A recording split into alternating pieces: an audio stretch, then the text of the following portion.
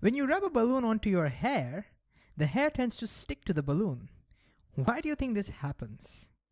Well, this happens due to the force of electricity. And to understand this force of electricity, we need to understand something called charge. And that's what we'll do in this video.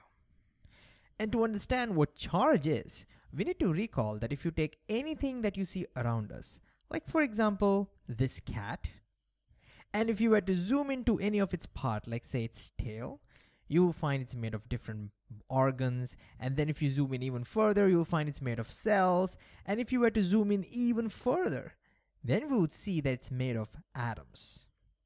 The word atom literally means indivisible. So the idea is that everything that we see around us are made up of these tiny, indivisible building blocks. That makes up everything around us. But after the 1900s, we realized that atoms are not really indivisible. We found out that even atoms are made up of even smaller particles. And we have named them today. These smaller particles that even make up the atoms are called the protons, the neutrons, and the electrons. And almost all the atoms are made of these three particles. And to understand what charge is, let's conduct our, an experiment in our head involving these particles. So let's do a thought experiment.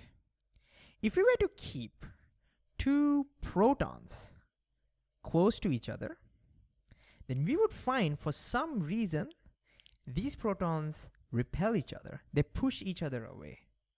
Similarly, if you were to keep two electrons close to each other, same thing. They push each other away. They repel each other. However, if you kept a proton and an electron close to each other, then you would find that they attract each other. And now we may wonder, well, what's causing these protons and electrons to attract and repel each other? And people thought, or people guessed, that maybe, just maybe, these protons and electrons have something that's causing this. And that's something that the protons and the electrons possess, because of which they are repelling and attracting other protons and electrons, is what we call as charge, or more formally, electric charge. So let's write that down. That is what we call electric charge. And this force that exists between these charged particles is what we call as the force of electricity. So long story short, if somebody asks, what's electric charge? Then it's simply something that protons and electrons possess, which causes them to attract or repel other electrons and protons. And now we can investigate this electric charge even further. If you look at this experiment carefully, you notice that if you take like particles, they repel each other. And the unlike particles, the different particles, they attract each other. So that made us guess that maybe the protons have one kind of charge and the electrons have another kind of charge. And so the kind of charge that the protons possess, we simply named it the positive charge. So this is also a positive charge, positive charge. And the kind of charge that the electrons possess, we named it negative charge. Negative charge and negative charge. And as a result, like charges repel each other. Unlike charges attract each other.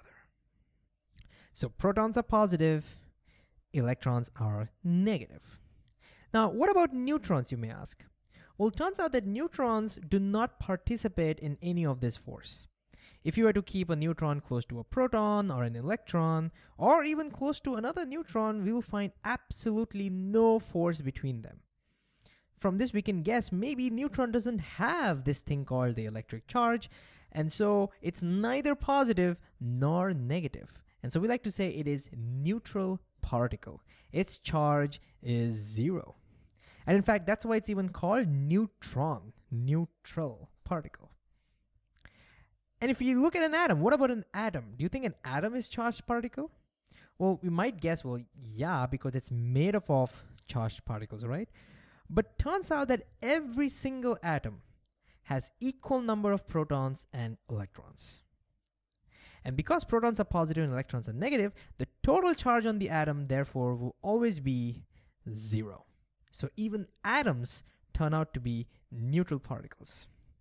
For example, if you take a hydrogen atom, it has one proton and one electron. So 1 plus, 1 minus, together you get 0.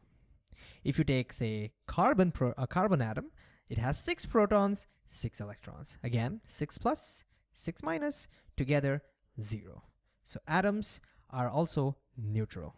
And that's that's the reason why most of the stuff around that you see are electrically neutral because they have equal number of protons and electrons. And that's the reason we don't get to see this electric force in action at large distances or on large objects. That's mostly because things are normally neutral.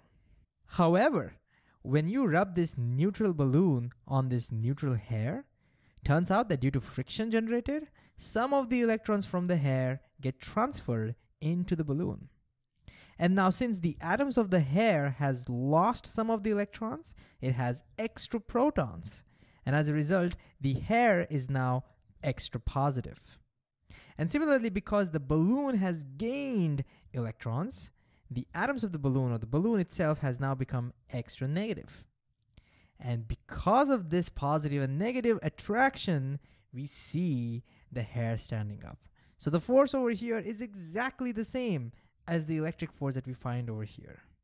Amazing, isn't it?